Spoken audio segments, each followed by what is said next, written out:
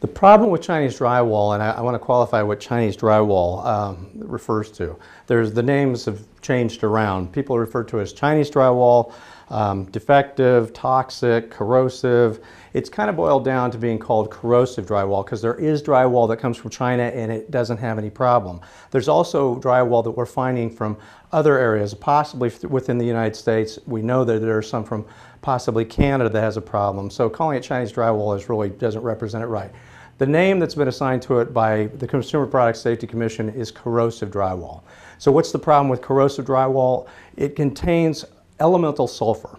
When they mine the gypsum out of the earth to make the drywall out of gypsum, it had a high level of elemental sulfur. Now all drywall has some elemental sulfur in it. The levels coming out of China and some of these other areas were much higher. So what happens when that um, elemental sulfur gets hot or moist, and that's where primarily this drywall is delivered into the areas where we find the high moisture, high humidity.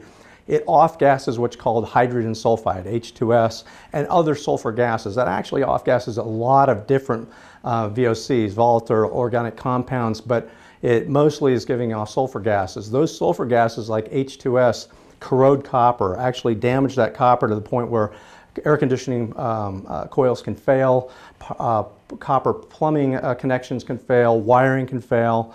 Um, so that's what it does. This H2S actually eats the copper. It eats silver too, but you don't find a lot of silver in homes. So that's what's causing the problem within uh, corrosive drywall.